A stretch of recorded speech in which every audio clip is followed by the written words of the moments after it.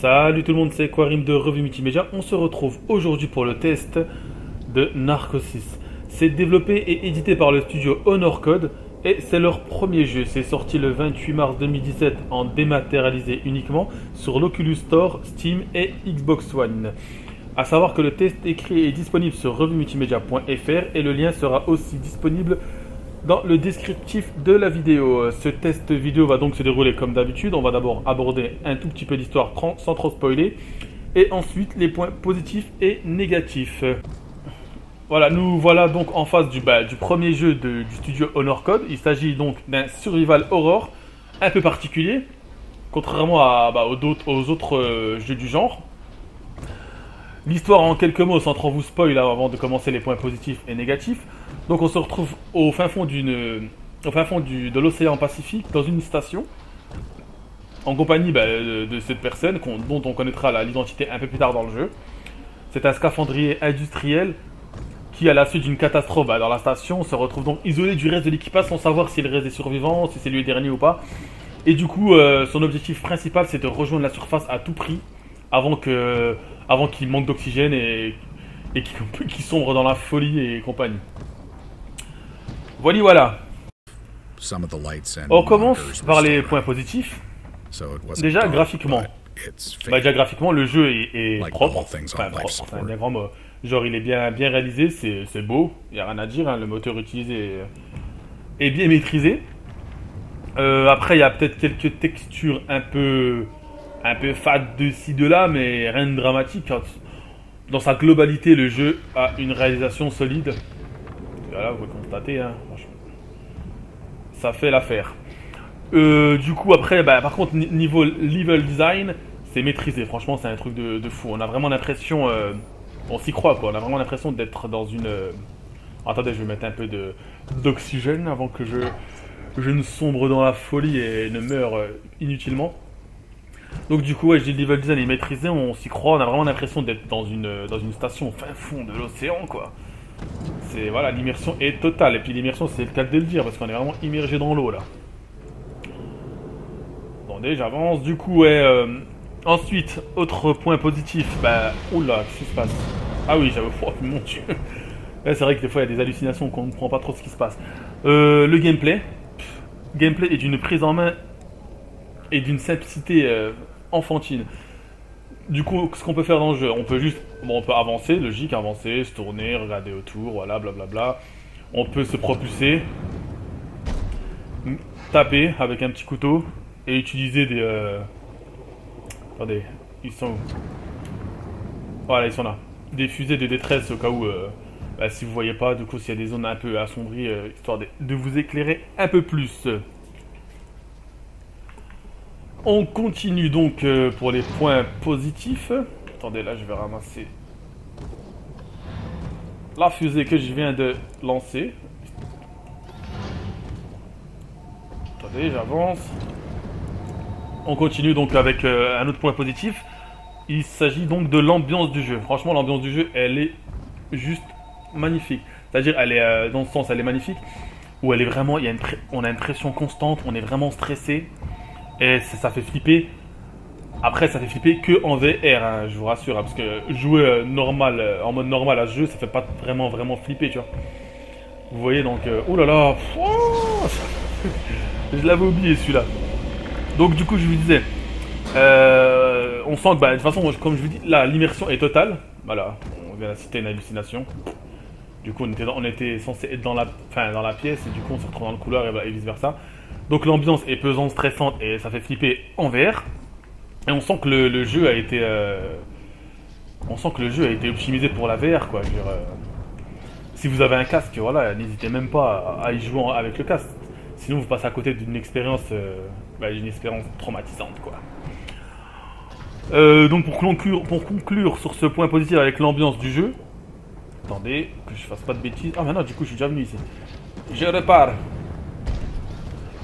Euh, ouais, comme dit, on a vraiment l'impression, bah, on a vraiment l'impression, par contre, de ce sentiment de,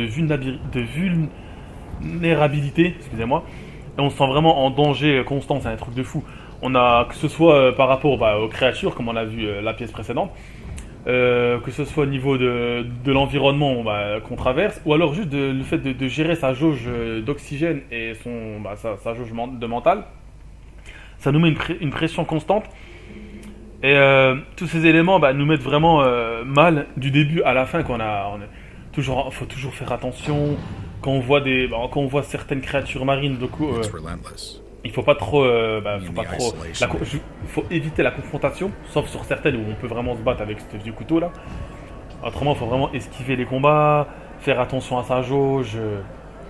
Et voilà. Il faudra surtout pas faire bah, chuter notre jauge de santé mentale, bah, sous peine de déjà de, de panique, de faire paniquer le personnage et du coup de mourir bêtement, et, sur- et surtout de subir voilà, voilà, ces genres d'hallucinations. Voilà, comme vous pouvez le constater, voilà, il, y avait une hallucination, du coup, on l'a géré parfaitement. Euh, ouais, donc du coup, je disais les, les hallucinations qui font partie aussi des, bah, des points positifs. Elles sont bien mises en scène et vous retourneront vraiment le cerveau de temps en temps. On continue sur les sur les points positifs. Bah, dans ce, bah, dans ce jeu, on se, se contente pas juste d'avancer, de, recharger nos trucs, euh, nos bouteilles d'oxygène et puis de, gérer les hallucinations. Il y a également, attendez, je vais remettre un coup d'oxygène parce que là, il y a également euh, quelques énigmes un peu tordues parfois où il faudra vraiment euh, se concentrer pour pas pa- paniquer et, réussir l'énigme. Regardez, encore une hallucination. Oh là là, qu'est-ce qui se passe? Ah, j'avais oublié, ouais. Bah, vous voyez ça en vert, ça fait flipper. Mais en mode normal, euh, non. Avant-dernier point positif, bah, ça concerne l'intrigue du jeu, qui est juste bonne et bien écrite, franchement. Surtout, bah, surtout le, dénouement, le dénouement final, qui, franchement, qui va vous mettre sur le cul, c'est un truc de fou. Oui, du coup, vous voyez, là, comme actuellement, là, bah, en fait, on avance dans le jeu, il y a des voix off qui, qui, bah, qui, qui racontent ce qui se passe, ce qui s'est passé. Et du coup, il y a une femme qui pose des questions à un personnage concernant cette catastrophe. Et du coup, euh, plus on avance dans le jeu, plus on en apprend jusqu'au dénouement final qui nous met une baffe monumentale. Ensuite, bah, le dernier point, euh, le dernier point positif, bah, ça concerne euh, I just did la my best VR. to, Si vous voulez vraiment profiter au maximum, euh, maximum bah, de, de ce jeu empathy, et, avoir une expérience de malade, je vous conseille vraiment de, de jouer avec le casque, hein, c'est limite indispensable. Donc voilà, on a fini avec les points positifs, on va attaquer les points euh, négatifs. Euh, Premier point négatif et pas des moindres, bah, le jeu est court. Voilà, c'est compter 5 à 6 heures pour le terminer. Voilà, c'est peu. Mais après, c'est un survival horror, c'est un jeu qui est bien, bien, bien raconté, donc du coup, euh, c'est normal qu'il est court.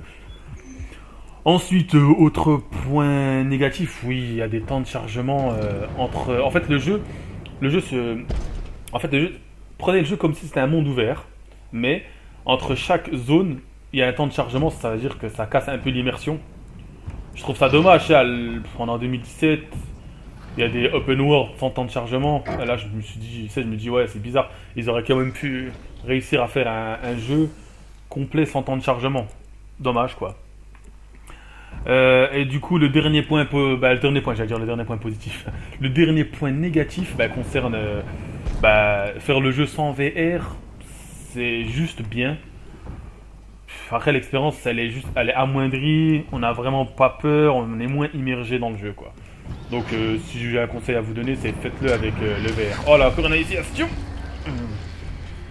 Donc, du coup, euh, attendez, je me barre de là. Voilà. Euh, donc du coup voilà, Bah, on arrive à la fin de ce test euh, vidéo. On a fait, euh, bon, on a fait un petit peu l'histoire, on a les points positifs et les points négatifs.